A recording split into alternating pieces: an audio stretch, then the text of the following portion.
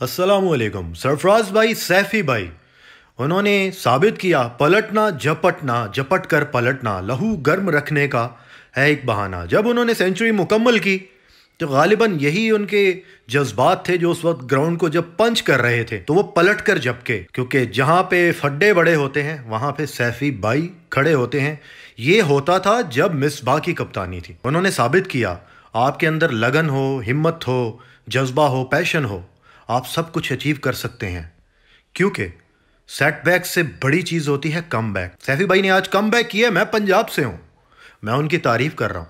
लाखों लोग उनकी तारीफ़ कर रहे हैं। उन्होंने पाकिस्तान का सर फखर से बुलंद इस वजह से किया कि एक वो मैच जो पाकिस्तान ऑलमोस्ट हार चुका था, उसको सैफी भाई ने अपनी परफॉर्मेंस से ना सिर्फ़ जीतने के करीब ले गए बल्कि ड्रॉ करवा दिया। सीरीज़ बराबर की हो चुकी थी और सैफी भाई मैन ऑफ़ द सीरीज़ ले चुके थे। सैफी भाई से दो गलतियाँ हुई। हमेशा कहूँगा, इसमें जाए बगैर कि रमीज़ राजा ने क्या कहा, उनके साथ क्या हुआ, क्या सलूक हुआ, उनके, उन, उन्होंने दो गलतियाँ अपनी करियर में की। आगे अगर उन्होंने अपने करियर को जारी रखना है तो ये गलतियाँ सैफी भाई को नहीं करनी। सबसे बड़ी बात उनके उन्होंने हिम्मत नहीं छोड़ी।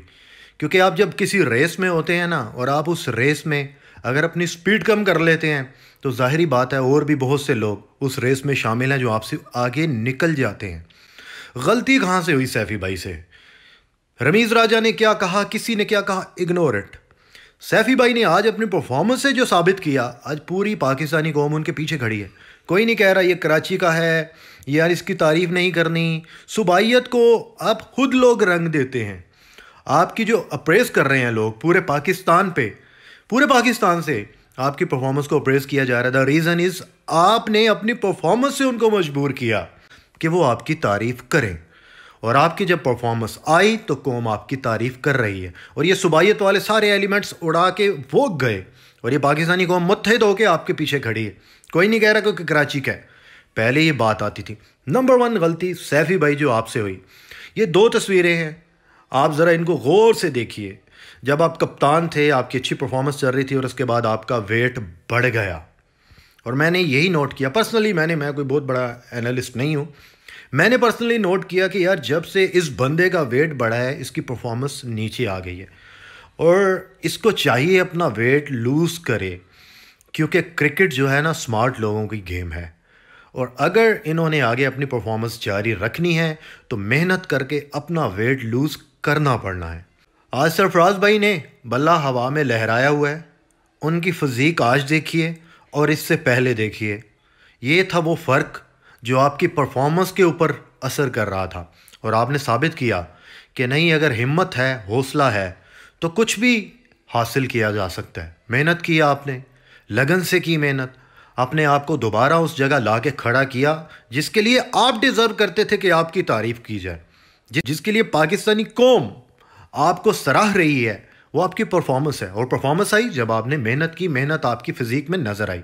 सेकंड अपने एग्रेशन को थोड़ा सा कम कीजिए। थोड़ा सा इसको नीचे लेके आइए। क्योंकि समटाइम्स ऐसा होता है ना एग्रेशन में गरूर का एलिमेंट जो है ना, इंसान के ऊपर आ जाता है। तो वो जो गरूर है, वो बड़ों बड़ों को बर्बाद कर देता है। थोड़ा सा एग्रेशन अपना कम कीजिए, थोड़ा कूल एंड काम रहिए। Just focus on your performance you did a wonderful job for Pakistan team और पूरा पाकिस्तान आपकी तारीफ़ कर रहा है। हर चीज़ ऐसा नहीं है कि कोई कराची से है तो हम उसको पीछे कर रहे हैं या कोई सिलेक्टर्स उसको पीछे कर रहे हैं, ऐसा नहीं है।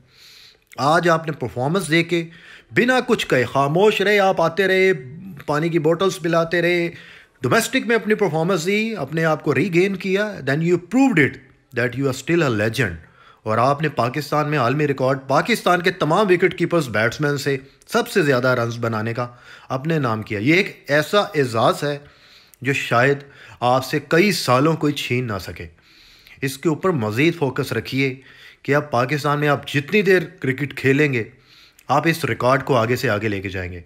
वो wish you best of luck you did a wonderful job for Pakistan for Pakistan cricket और भाभी आपकी सेंचुरी पे जब आ, उनकी आँखों में आँसू आ गए तो यकीन मानिए हमारी आँखों में भी आँसू आए थे कि यार एक खुशी होती है ना कि एक फ़ख्र होता है जो अपने मुल्क के लिए आपने किया उस पर फ़ख्र आपकी वाइफ हमारी भाभी को हुआ तो हमें भी आप पे आज फ़ख्र है और हम आपकी तारीफ़ कर रहे हैं। So best of luck for the future और थैंक यू